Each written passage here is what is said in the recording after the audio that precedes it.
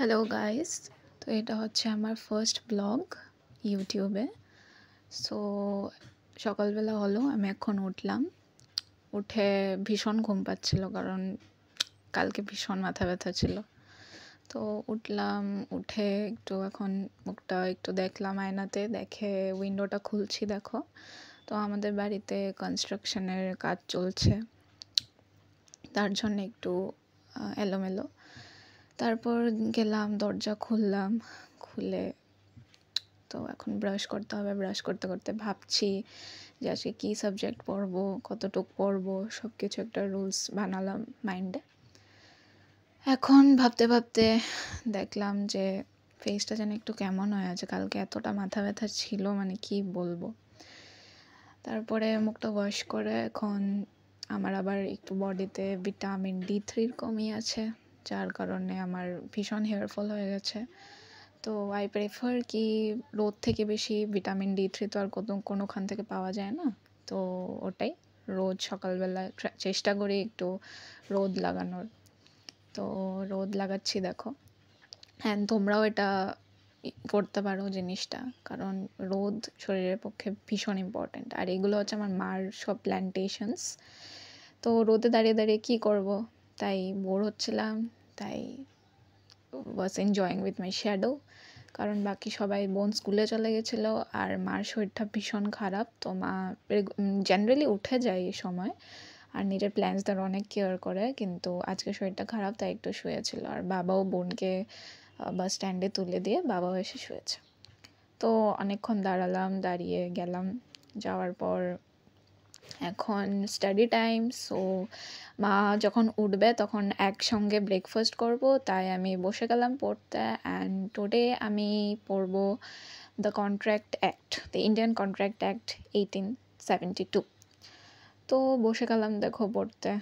তো কন্ট্রাক্ট অ্যাক্টটা আমার এতটা ইন্টারেস্টিং লাগে না বাট ত্রিপুরা জুডিশিয়াল এক্সামে সেটা আছে, তো I have to see it আমি মোস্ট অফ দ্য টাইম আমি ক্রিমিনাল অ্যাক্টই পড়ি কারণ আমার ওটাই খুব ভালো লাগে। কিন্তু এক্সামে তো জেনারেলাইজেশন করলে হবে না। তো পড়তেই লাগে। তো পড়ছি দেখো। তো পড়তে পড়তে তো পড়ার সাথে সাথে তো মানে ইউনো কত রকমের ভাবনায় আসে যে ফিউচারে কী হবে, কি না। ওটার পাশাপাশি পড়াটা ঠিক রাখতেই হয় কারণ দিস ইজ লাইফ লাইফ তো ওভাবেই চলতে হবে। তো সেকশনসগুলো প্রথমে একটা রিডিং মারছি, তারপরে I try to get in to the depth তো আমি রেগুলারলি এইভাবেই পড়ি, যেন আমি ওয়ার্ডসগুলোর সাথে সাথে মিনিংটাকে ভালো করে বুঝতে পারি। তো দেখো পড়ছি। কন্ট্রাক্ট একটা বেসিক্যালি মানে ক্রিমিনাল লর মতো সেরকম মানে if you apply your mind মানে একটু যদি অ্যাপ্লাই করো then you'll get in to it because criminal লর মতো বা সিভিল যেটা আমরা সিভিল প্রসিডিওর কোড পড়ি, ওটার মতো দ্যার ইজ মানে কি বলব মানে you don't have to like go in to the like ভীষণভাবে পড়তে হয় না এটাকে। সো ইউ ক্যান মানে তোমার মধ্যে যদি সেরকম একটু ক্যাপাবিলিটি থাকে, আমি জানি না আমার মধ্যে আছে কিনা, কারণ আমি কন্ট্রাক্ট এক বেশি আমার পছন্দ না অ্যাজ আই সেড বিফোর তো আমি চেষ্টা করছি পড়ার।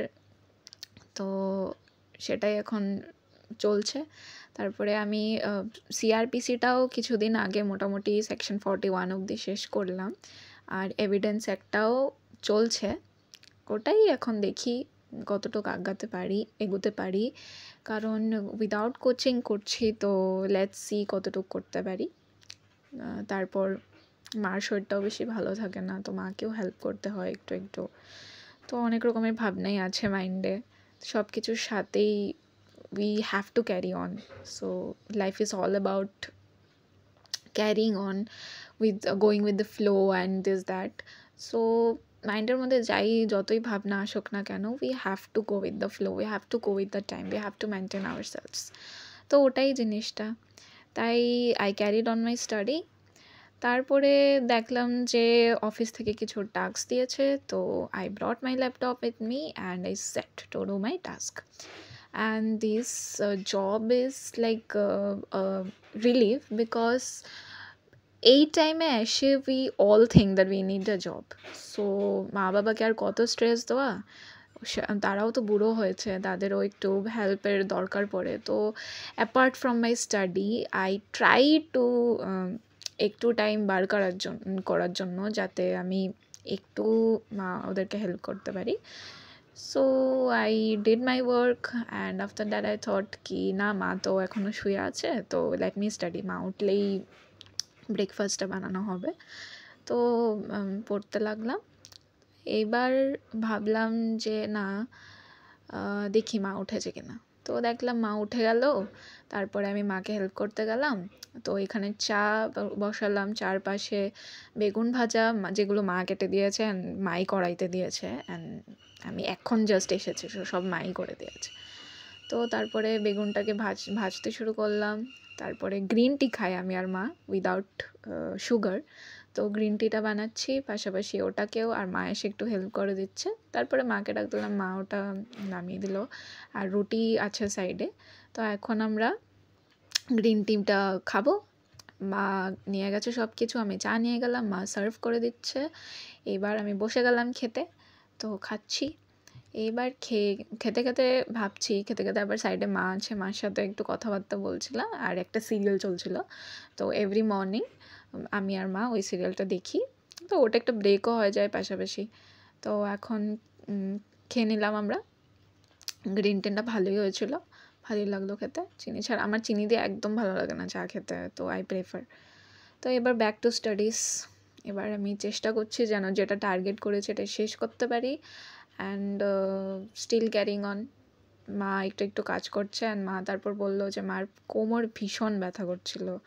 তো মাকে গিয়ে একটু আমি শেক লাগিয়ে দিলাম আর একটু ইয়ে মলমও লাগিয়ে দিলাম। তারপরে ভাবলাম, হঠাৎ মনে পড়ল অ্যাকচুয়ালি হঠাৎ মনে পড়ল না যে আমাদের অ্যাকচুয়ালি কালকে ফ্লাইট আছে, কারণ মার চেক আপের জন্য যেতে হয় প্রতি ওয়ান ইয়ারে তো I thought to like pack my things and I started packing my things than I took shower and মার যেহেতু শরীরটা ভালো না, মাকে হেল্প করার জন্য জেনারেলি মাই সিক্সটি পার্সেন্ট পুজো দেয় বাট দেন শরীরটা বেশি ভালো না বলে আমি পুজো দিতে গেলাম। তো পুজোর জন্য এগুলো সব আমাদের গাছের ফুল, দেখতেই পাচ্ছ এখানে জবা আছে অ্যান্ড বিভিন্ন প্রকারের আরও ফুল আছে। এখানে সাদা কণ্ঠ আছে। তো সবগুলো ফুল আস্তে আস্তে আমি অ্যারেঞ্জ করব এখন। তো তুলসী পাতাগুলো সাইডে জলে ভিজিয়ে দিয়েছি যাতে ওগুলো ক্লিন হয়ে যায় একটু। তারপরে শঙ্খের মধ্যে জল আগেই ভরে নিয়েছিলাম আমি। তারপরে সবগুলো বাসনকে একসাথে এনে এখন আমরা চন্দন বাটবো। চন্দনটা বেটে তারপরে ফুলগুলো আমরা ঠাকুরের চরণে জন্য রেডি করে নেব। তো সবগুলি ফুল সুন্দর করে সাজিয়ে আমার ফুল সাজাতে অনেকটা ভালো লাগে। আর যেগুলো দেখছ এগুলো সব মার মেহনত, সব মা করেছে। এই ফুলগুলা মানে মা loves plantation like her child like she loves them তো মার মেহনত লাইক ভীষণ ভালো লাগে মানে এইভাবে করে সাজাতে। তো আমি সবগুলো ফুল সাজিয়ে দেবো। তারপর তুলসী পাতাগুলোকে ধুয়ে তুলসী পাতাগুলো ঠাকুরের ফুলের উপর দিয়ে দেবো। তো দেখতেই পাচ্ছ, দিয়ে দিচ্ছি। তো সব কিছু করার পরে আস্তে আস্তে করে এই সব কিছু আমরা করে নেব। তুলসী পাতাগুলো দিয়ে দিচ্ছি। তুলসী পাতাগুলো আস্তে আস্তে করে চন্দন লাগিয়ে দিতে হয়। আর আমার ঠাকুমা সবসময় বলতো, দুটো দুটো করে তুলসী পাতা দিতে। কারণ ঠাকুরের দুই চরণের দুটো তুলসী পাতা।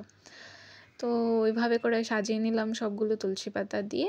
আর জলের মধ্যে একটা তুলসী আর খাওয়ারে আমি দেব দেখেই নেবে, একটু পরে বার করব। তারপরে শঙ্খের মধ্যে আর জলের মধ্যে দিয়ে দিলাম। শঙ্খের জলের মধ্যে একটু তুলসী দিয়ে দিলাম। সব কিছু রেডি করে তারপরে বার করব আমি ঠাকুরের খাওয়ার। আর যেহেতু আমরা কালকে বেরিয়ে যাব, তার জন্য মিষ্টি টিষ্টি কিছু আনা হয়নি কারণ ওটা খারাপ হয়ে যেত। তার জন্য ঠাকুরকে, আজকে বেশি কিছু নয়, ঠাকুরকে আজকে তাল মিছরি দিয়ে দেবো। তাল মিছরিটাও বেশ ভালোই লাগে খেতে, মিষ্টি মিষ্টি লাগে, তো ঠাকুরকে দিয়ে দিলাম। এইবার ধূপকাঠি নিয়ে নিলাম। ধূপকাঠি নিয়ে ইয়ে করলাম ক্যান্ডেল জ্বালিয়ে দিলাম। তো একটু হাতে লেগে যাচ্ছিল ধূপকাঠিটা জ্বালানোর সময়। তো ধূপকাঠি জ্বালিয়ে এবার ঠাকুরকে ভালো করে পুজো দেবে। পেছনে বোন রেডি হচ্ছে, ওর টিউশন আছে। তো টিউশনের জন্য ও রেডি হচ্ছে। তো আমি পুজো দিয়ে নেব। তো ঠাকুরকে ধূপ দেখিয়ে ভীষণ ভালো ফিল হয়, কারণ we all should believe that there is a power above everything like our mom dad we have our mom dad with uh, in the same way the world has their mom dad তো ভগবানকে আমি মানি ভগবানকে আমি সবসময়ই মানি আর পর সবসময়ই মানবো জিনিসটা কারণ like life and death and everything is like these are all a power I believe তো তার কারণে আমি সবসময় ভগবানে বিশ্বাস করি, ভগবানকে মানি। পুজো শেষ করে লাঞ্চ করলাম। লাঞ্চ সেরে আবার পড়তে বসে গেলাম। বিকজ টার্গেটটা শেষ করার ছিল আর অনেকগুলো সাবজেক্ট সো মোটামুটি শেষ করার ছিল জিনিসটা। তো আমি বসে গেলাম, পড়তে আবার পড়ছিলাম। পড়তে পড়তে আমার আবার একটু পরে একটা স্টুডেন্ট আসার ছিল। তো একটু পরে সে আসলো। অ্যান্ড ওকে নিয়ে আবার বসে গেলাম ওকে পড়াতে। সো ও পড়ছে দেখছ সবাই। তো স্টুডেন্ট চলে গেল। অ্যান্ড আমি এখন এসছি আমার মামার বাড়িতে, যেহেতু কালকে আমাদের ফ্লাইট আছে। তো দেখা করতে আসলাম and I am really tired so আজকের ব্লগটা এতটুকুই। অ্যান্ড সবাই ভালো থাকো and see you again bye